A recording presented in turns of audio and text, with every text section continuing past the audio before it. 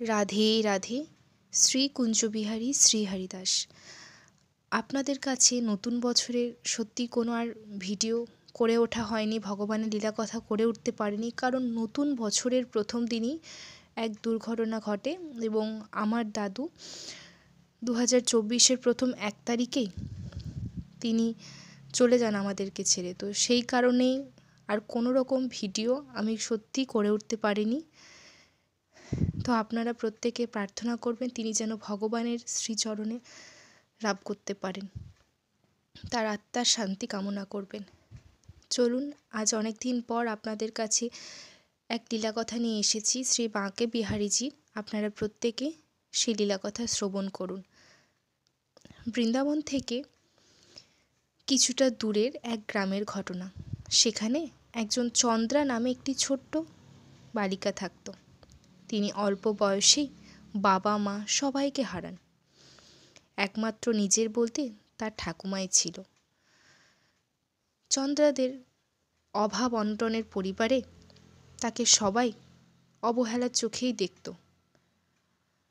এত কষ্টের মধ্যেই থাকতো সেই চন্দ্রা নামক মেয়েটি। কিন্তু তাদের এক গৃহ মন্দিরে একটি লাড্ডু গোপাল ছিল। খুবই প্রেমপূর্ণ সেই বিগ্রহ। এবং নিজের বলতে যেহেতু কেউই ছিল না, তাই চন্দ্রা এবং তার ঠাকুমা সে লাড্ডু গোপালেরই সেবা করত। কিন্তু প্রতি বছর যখন রাখি বন্ধন আসতো, ভাইফোঁটা আসতো, তখন চন্দ্রা খুব দুঃখ পেত যে সত্যিই যদি আমার নিজের বলতে কেউ থাকতো, আমার নিজের কাছের মানুষ সবাই তো চলে গেছে, আমার নিজের বলতে কি কেউ নেই যদি আমার একটা ভাই থাকতো? এই বলে সে ঠাকুমার কাছে প্রতিদিন বলতো। কিন্তু কি করবে?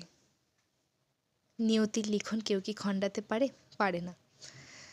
কিন্তু সেই ছোট্ট মেয়েটিকে খুবই যেহেতু সহজ সরল ছিল, তাই ঠাকুমা তাকে প্রতিদিন এটাই বলতো যে, নিশ্চয়ই আছে তোমার ভাই।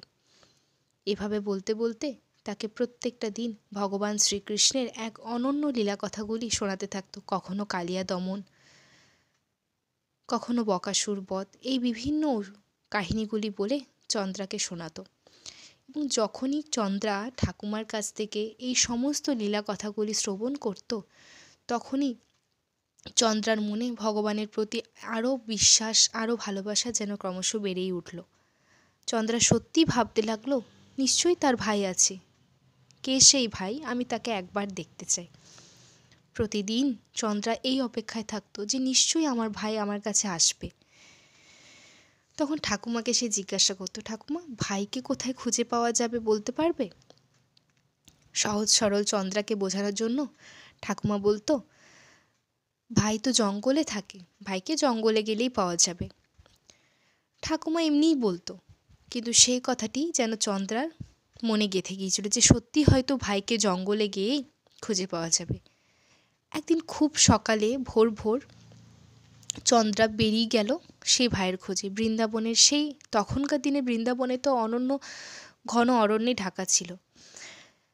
এবং চন্দ্রা কাউকে না জানিয়েই, সে ঠাকুমাকে না জানিয়েই চলে গেল তার ভাইকে খুঁজতে। সহজ সরল মেয়েটি তার ভাইকে খুঁজতে। বোনের দিকে যত এগিয়ে আছে ক্রমশ বলতে থাকছে, ভাই, কোথায় তুমি? কোথায় গেলে তোমায় পাবো?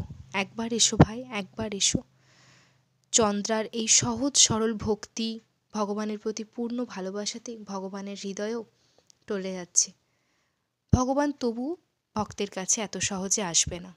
ভগবান তবু তার পরীক্ষা একটু তো নেবেনি তাই যতই চন্দ্রা ভগবানের কে ডাকছে, ভাই, একবার এসো। ততই সে আর খুঁজে পাচ্ছে না। এদিকে যতই বনের দিকে এগিয়ে যাচ্ছে, পায়ে কখনো কাটা ফুটছে, কখনো সে পড়ে যাচ্ছে হাঁটতে গিয়ে, তবু চন্দ্রা থামছে না।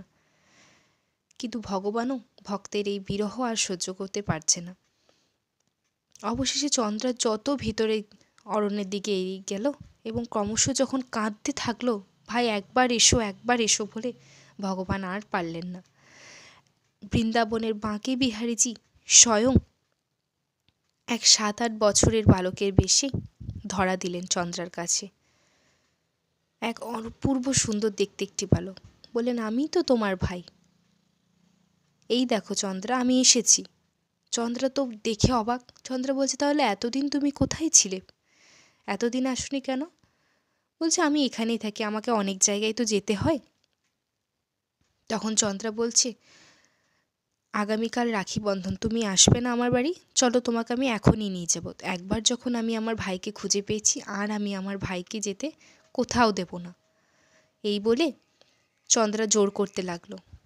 কিন্তু বিহারিজি তো অন্তর্জামী বিহারিজি সব জানেন। বিহারিজি চন্দ্রাকে প্রতিশ্রুতি দিলেন যে, আমি অবশ্যই কাল তোমার বাড়িতে আসব। তুমি সমস্ত আয়োজন করে রেখো চন্দ্রা তার ভাইকে দেখে খুব খুশি হলেন মনে মনে এবং তার ভাইয়ের সাথে দেখা করেই আবার বাড়ি চলে গেলেন এবং ওই চন্দ্রার সাথে দেখা করেই বিহারেজিও অন্তর্ধান হয়ে গেলেন। চন্দ্রা যেই বাড়ি ফিরে তার সমস্ত ঘটনাগুলি ঠাকুমাকে বলতে লাগলেন, ঠাকুমা বিশ্বাস করলেন। ঠাকুমা ভাবলেন, হয়তো সহজ সরল মেয়ে তো। কি জানি হয়তো কোনো অন্য কোনো বালককে ভাই ভেবেছে। এই বলেই ঠাকুমা সেটা আর বিশ্বাস করলেন না। পরদিন খুব সকালে উঠে চন্দ্রা ঘরের সমস্ত ঘরের কাজগুলি করে রাখি বন্ধনের সমস্ত আয়োজন করলেন। নিজের হাতে ভাইয়ের জন্য রান্না করলেন। ভাই আসবে, ভাইকে খাওয়াবো। এই সমস্ত আয়োজন করে চন্দ্রা তার ভাইয়ের জন্য অপেক্ষা করতে লাগলেন।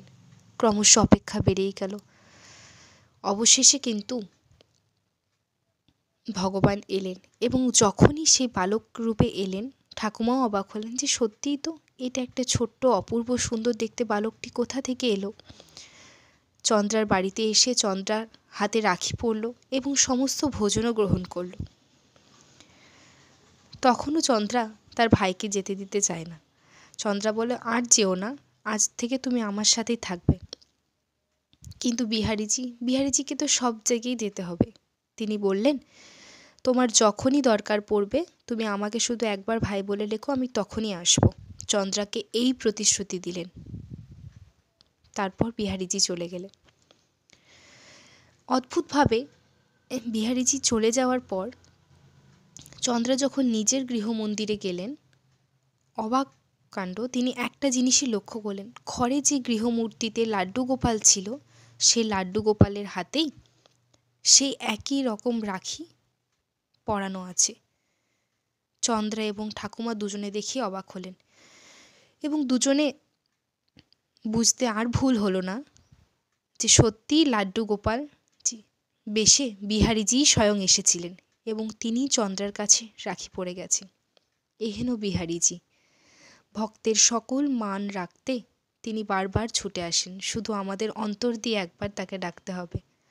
একবার তাকে পূর্ণরূপে ভালোবাসতে হবে। যে কোনো অবস্থাতেই বিহারিজি ছুটে আসবেন। তাই লীলা কথাটি আপনাদের যদি প্রত্যেকের ভালো লেগে থাকে, অন্যান্য সকল ভক্তদের জানার এবং শোনার সুযোগ করে দেবেন। নিশ্চয়ই দেখা হবে আবার পরবর্তী কোনো লীলার কথা নিয়ে। ততদিনে আপনারা ভালো থাকুন, সুস্থ থাকুন এবং ভগবানের নাম জপ করুন। রাধে রাধে।